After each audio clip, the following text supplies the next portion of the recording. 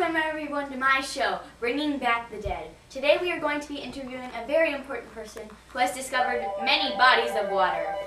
None other than Mr. Henry Hudson! Give him a round of applause! Go Henry! Go Henry! Go Henry! It's your birthday! It's your birthday! It's your birthday! Thank you, thank you very much, and thank you, Stephanie, for bringing me back from the dead. You're very welcome, Henry. Okay, let's get started in the interview. Where and when were you born? I was born in England in the 1500s when I was just a little sprout growing into a beautiful flower. Okay, then. So tell me, why are you are mostly, famous?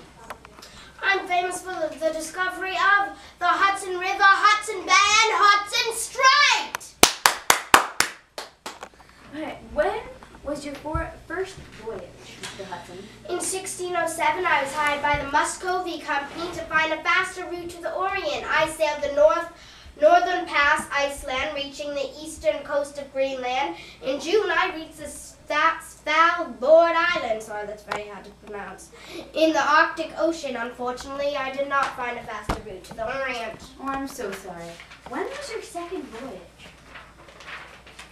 It was in 1608 I took another voyage on the Hope while still trying to fast, find a faster route to the Orient. This time I decided to go through the northern pa- part of Russia and the eastern part of the North Pole.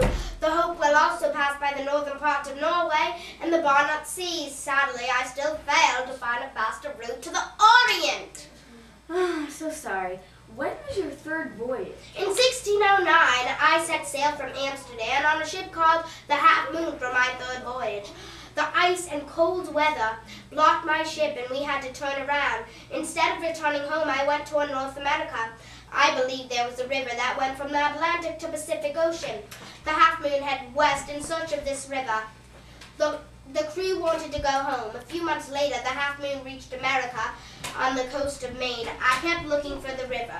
We started to go south along the coast. Later on, the crew and I arrived in New York. This is when I began, began my mo- most famous trip ever. This is when I sailed the Hudson River. And now, how about your fourth voyage? In 1610, I set sail from England. This time I was aboard a ship called the Discovery. Aboard the Discovery, I, I sailed once again to North America. This time I discovered the Hudson Strait. This journey was dangerous. The adventure to the Hudson was called the Furious Overfall. It had rushing tides, whirlpools, and other obstacles. In addition, the crew aboard the Discovery was low on food. The Discovery entered what is now called the Hudson Bay.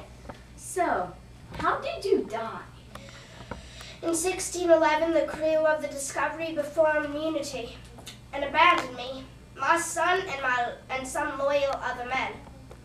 I was left in a rowboat in the middle of the sea, and I was never heard from again. Until my good friend Stephanie called and invited me up, and here I am, everyone.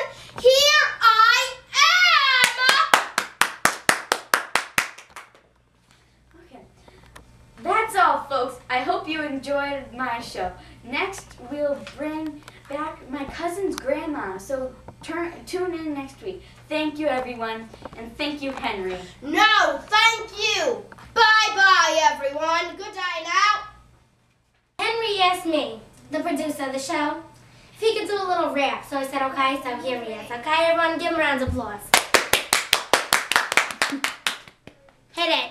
My name is Henry Hudson. I was born in the 1500s and I died in 1611. My crew caused immunity and my crew caused immunity, immunity, uh, uh, immunity, and threw me off the ship. It's a mutiny.